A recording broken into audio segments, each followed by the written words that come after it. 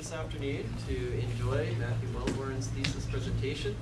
Um, on behalf of the honors program, the honors committee at OBU, just want to welcome you here. This is the, the second last, the eighth out of nine thesis presentations this spring. And for Matt, this is the culmination of what about an 18 month long process of uh, conceiving and starting and researching and writing and tweaking and revising and editing some more and been through a long process of himself and other people looking at it and uh, working on it. So this is the fruits of his labor over junior and senior year and I'm looking forward to a wonderful presentation, Seeking Shalom through Mathematics, uh, looking at developing a Christian ethical code, discipleship code, um, and applying it to the discipline of mathematics. So please join me in welcoming Matt Welborn.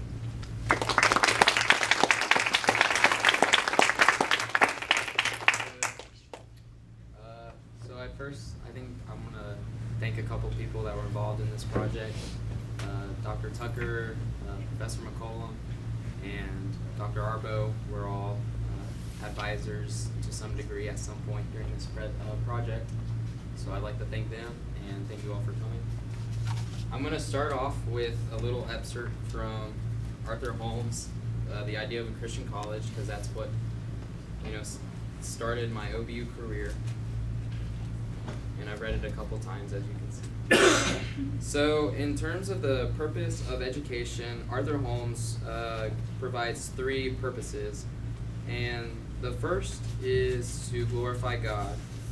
Uh, the second is to pursue knowledge and common grace.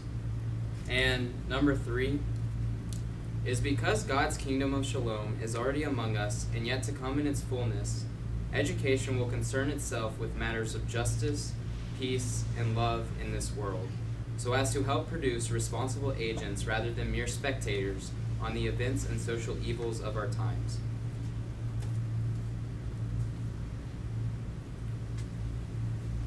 So let's look at the uh, more specific context of my project.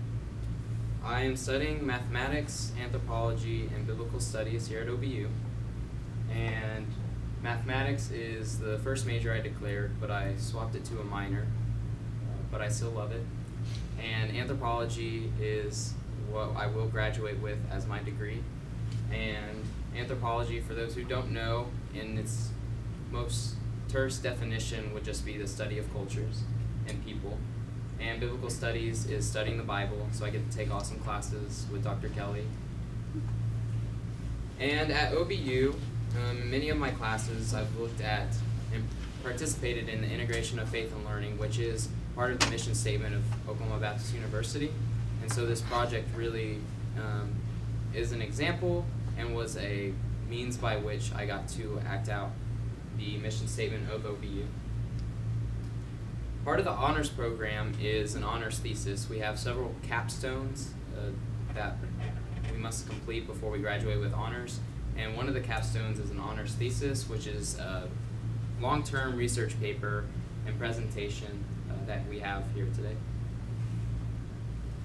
So, the early stages of my honors thesis, I was looking at some sort of integration of mathematics and anthropology. So I attended a Mathematical Association of America meeting last year, and I attended a lot of the talks and participated in a lot of the discussions, and it was super fun. Um, but something that I notice as utilizing a tool of anthropology, which is participant observation, in which you go into a culture, you participate in that culture to whatever degree that you possibly can as um, whatever type of person you are, and you observe the culture and you ask questions uh, about maybe you're studying kinship and you so you ask a lot of questions about kinship and you make observations about kinship and maybe the language is, how the language names certain people and whether names can be used by some people or not. So using a tool of anthropology, I was more or less studying uh, mathematicians at this MAA conference. And as I was doing this, I noticed that there was a notable absence of discussions related to ethics and morality and the good and what can result from using the mathematics that all of the speakers were talking about during the conference. And I thought, okay, maybe that's something that's just well, it's a regional meeting. It was at the University of Tulsa. Maybe it was just a regional meeting, and they don't really talk about a lot of those kind of things. But then I went on the MAA website, and I'll talk about this more later. But I went on the MAA website and found out that it wasn't just the meetings, but also kind of a symptom of a larger problem that I saw. But I did work on my thesis, and over the course of working on my thesis, I got it to the point where I could actually present it at this year's MAA meeting, which was in was at the University of Central Arkansas, and I got to present a 15-minute version of this presentation to mathematicians of a bunch of different faiths and ages and experiences, and it was a packed classroom, which was very promising because you know, even though I didn't see or hear any ethical or many ethical considerations at the last meeting, when I gave this talk, a lot of people were interested, so it showed me a lot of promise in that people are either having these conversations already and I wasn't privy to them, or that they're interested in continuing in these types of conversations. Then I also presented to the math club uh, here at OBU, which was really cool because I got to present this in front of peers, uh, mathematicians and future mathematicians and future, future math teachers um, and math professors currently at OBU. So it was a nice application and integration of faith and learning. So just a continuation of uh, the whole project. And it gave me practice. So the purpose of the project uh, basically is to promote further discussions of ethics among mathematicians. So I hope that if you know a mathematician or someone that's doing math, or even when you're doing math yourself, that you'll think, okay, well, maybe what are the, some of the implications, or maybe I could ask a question about something, or maybe you're interacting with, uh, say, you're online and you're interacting with statistics or polling or any sort of numerical analysis or statistical analysis that you kind of pay attention to maybe some of the um, ethics or morality associated with all of the mathematics. So, observations of ethical codes. Uh, Reuben Hersh at the University of New Mexico, he uh, kind of observed, like I did back in the 80s, that mathematicians didn't really have that much of an ethical code, and it wasn't very robust. And so that was, I guess, reassuring to some degree, but it was in the 80s, so I thought, okay, well, maybe a lot of has been done, but not so much. Uh, he did influence the American Mathematical Society to uh, provide and create a code of ethics, which has been updated since then. But he still saw that their code that they created was lacking in several ways and instances. So I looked at some other codes as well. Uh, the Society of Industrial and Applied Mathematics, which seems to be an uh, organization that would be really concerned with the application of mathematics, and they don't have a code of ethics at all.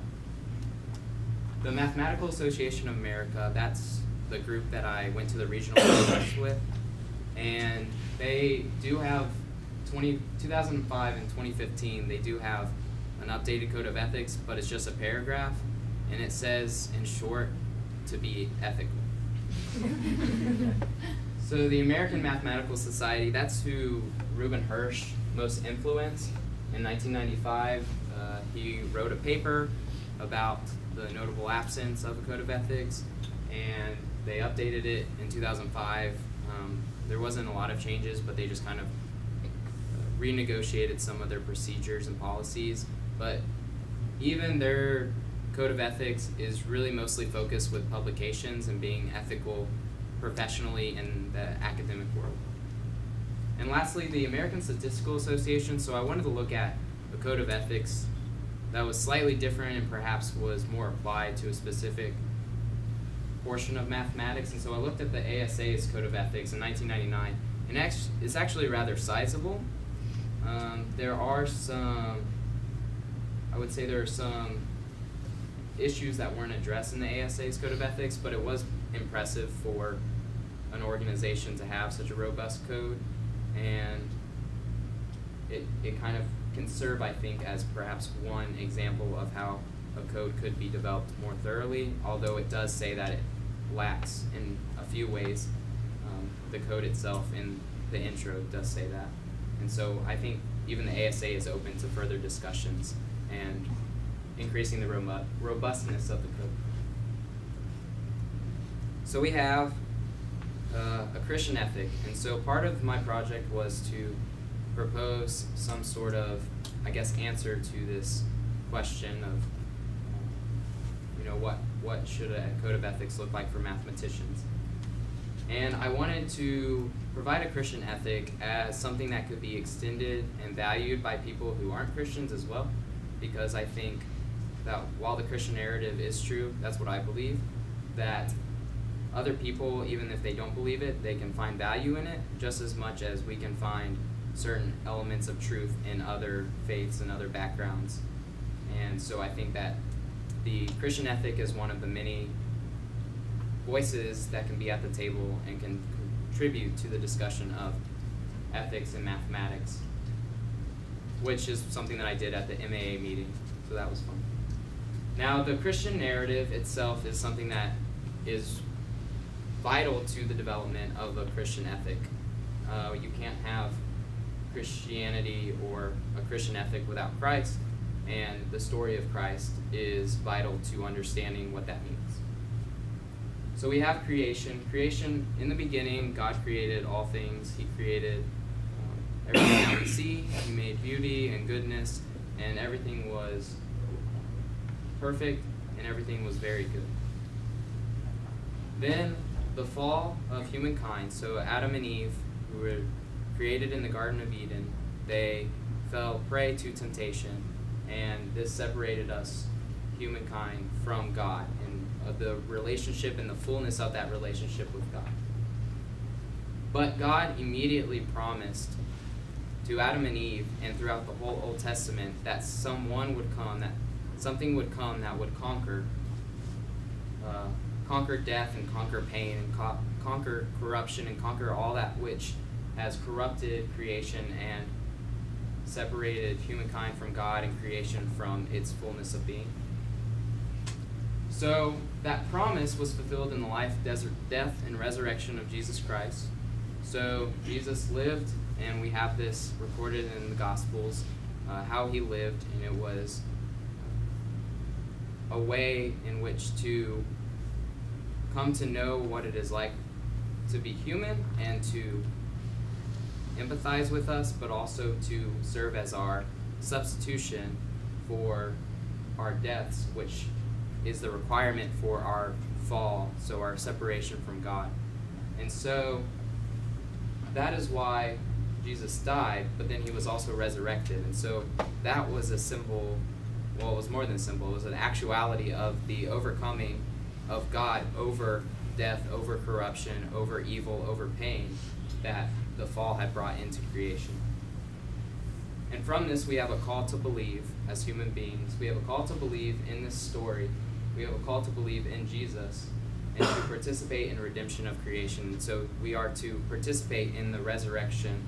We are to participate in uh, making things new again, to making things whole again, to righting relationships, to righting our relationships with other humans and with creation, uh, with each other, as God has righted our relationship with God's self. And the specific application of this narrative is something that James Davison Hunter of the University of Virginia, he developed as, and he calls it faithful presence. And faithful presence is based on Jesus as God with us, so God Emmanuel, God with us, and it's uh, also the incarnation. So, faithful present consists of three different features. We have faithful presence to each other, and this is the attentiveness and uh, the attentive, intent, attentiveness and being aware and being intentional to each other. And that could be for this is also related to mathematics. Um, some are more specific to mathematics and some are more general.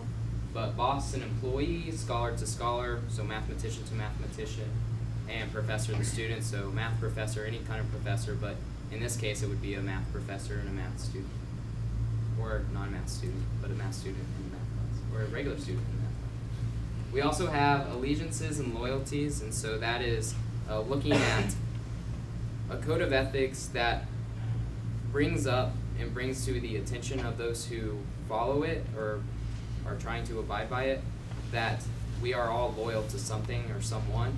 And so it just is important that we have something that promotes reflexivity over who you are loyal to, uh, whether that's your employer or your faith or your family. Uh, these are all different allegiances and loyalties we have as human beings, and so it's important to think about these things and think about how they affect our work. we also have to each other in relation to quantification, and so that's when we take uh, human beings and we number them and we put numbers to them, and this can be uh, very helpful in produ- producing public policy um, and making other kind of decisions. And I mean, we make enrollment decisions based on numbers, but it also is something that could perhaps be dehumanizing and also um,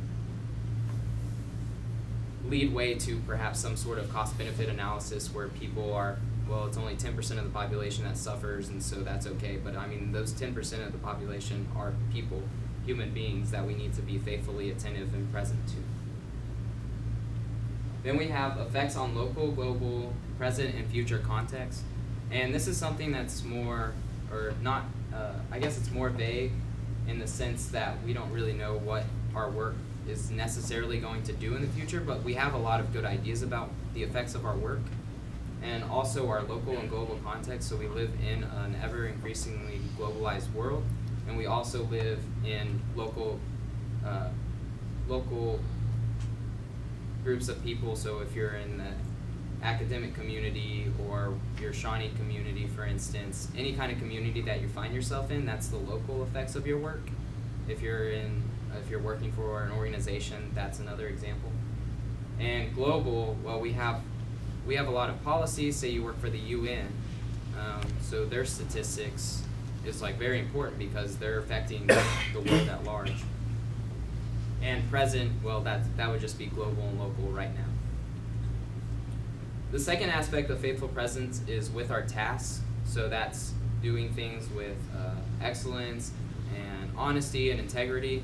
And of faithful presence, I would say this is the one that is most touched upon in code of ethics that we already do have. People are generally, you know, supportive of being uh, honest with their work and not cheating people out of their own work and not plagiarizing and making sure that what they're doing is honest and, and is with integrity. And faithful presence, the last one is within our spheres of influence. So to look at some of those, we have our culture. So we are culture, we are cultural beings. We participate in culture, and we have culture. we are enculturated, and we also make culture. And those who are, say, mathematicians, are influential in culture because we do trust science and we do trust mathematics post enlightenment significantly. So much so that we have um, entire societies and how we do public policy based on um, what the numbers tell us to do. And so it's very important as Christians and as people, uh, as intellectuals, ac- academics, to do things that are um, right and proper and are redemptive. We also have, in the uh, academia, we have academic communities. Uh, this is, you know, this is where the codes of ethics currently, this is where they would kind of go under right now because, you know, people do need to respect other people's work and then also participate and help with other people, but also your work goes beyond just your mathematics work, but as people participating in, say, a research university or uh, whether you're teaching or doing research, do influence more than just what your math is doing. You influence it as a person and as a uh, academic. Then also in government, we have many mathematicians in government, especially regarding statistics. And like I keep saying, public policy is something that uh, is very dependent on numerical and statistical analysis. And this is also related back to uh, quantification of human beings, and so they're both intricately related. And we have incorporations, so a lot of mathemat- mathematicians will work within a corporation uh, will perhaps lead a corporation or help a corporation make decisions, and now we have financial decisions as well, um, and this would bleed over into business um, and people doing mathematics for business related activities and for promotion of their corporations and how they handle situations and how they do HR and how they do PR and how they run their corporation financially as well. And lastly, the church. So, those who are mathematicians and Christians have a role to play as mathematicians and as academics and as brothers and sisters in the church, the local church body and the global church body. And so, if you have uh, abilities and ways to serve the church, then I believe that um, God has provided us those gifts so that we can serve the church, so we can serve the local body, and you know maybe that's doing some accounting for the church if they need it. It could be something small like that, or it could be something as much as leading some sort of program that needs a lot of analysis relating to neighborhoods, and maybe you're doing a lot of busing and coordinating, and you have to think about perhaps. Uh, poverty line and other financial issues and circumstances. And so it's all very important and related to math in a lot of interesting ways. And so it's important for the Christian mathematician to also be attentive in their local congregation. so some examples, I've mentioned a few of these. We have polling. Polling is something that's extremely significant in both our public perception of what's going on and also how politicians relate to us and how politicians make decisions and even what politicians say. Uh, informatics, which lead again to public policy. Uh, artificial intelligence is also something that is uh, very vital for mathematicians and Christians to be involved in um, thoughtfully so that we stay aware and perhaps try to stay ahead of the curve in terms of artificial intelligence because public policy doesn't really keep up with that kind of stuff. So we, we need to make sure that culture makers, um, academics, and Christians in those contexts are, are promoting ethical discussions related to artificial intelligence. And entertainment. Entertainment is also something that's kind of, oh, well, what does math and Christianity and ethical codes have to do with uh, entertainment, well, something that's really interesting is Pixar movies, like Finding Nemo, are based on uh, vectors, and so all of the math that goes into it is very important and uh, vital to making these movies, but also as people who make these movies, you have to think what kind of cultural values are you perpetuating? What kind of um, values are you teaching kids? And this is the next generation of people, and mathematicians are affecting this. And so, if, you know, if a movie is perhaps promoting values that uh, you don't think are values that need to be promoted, then you know, even though you're just doing vector graphics, it's still important to be involved in those discussions and be thoughtful regarding those uh, different decisions that, say, Pixar is making. And the conclusion. So we have uh, my hope is that the application of faithful presence is something that Christians uh, and mathematicians writ large uh, at least consider and hopefully practice. Uh, I hope that other mathematicians add more perspectives of different faiths and backgrounds and ethnicities to the conversation. I hope that uh, organizations like the MAA improve their ethical code so it's not just a paragraph where they at least provide something more akin to perhaps the ASA's Code of Ethics or even something greater than that. And I also hope that, just in general, that mathematicians and Christians and anyone who listens to this talk or reads this paper uh, feels more thoughtful about what they do as human beings and as Christians, and also that we will participate in conversations uh, regarding ethics and regarding Christian discipleship and what it means to follow Jesus. I hope that those kind of conversations um, are integrated into what we're learning at OBU and also what we're doing in our churches and in our culture at large and also in whatever you know work situation we find ourselves in. So I'd like to end this thing with a prayer by St. Francis. And this is ties it back to seeking shalom and seeking peace. This is called the Peace Prayer by uh, St. Francis. he said, Lord, make me an instrument of thy peace. Where there is hatred, let me sow love. Where there is injury, pardon. Where there is error, the truth. Where there is doubt, the faith. Where there is despair, hope. Where there is darkness, light. And where there is sadness, joy. O divine Master, grant that I may not so much seek to be consoled as to console, to be understood as to understand, to be loved as to love. For it is in giving that we receive, it is in pardoning that we are pardoned, and it is in dying that we are born to eternal life.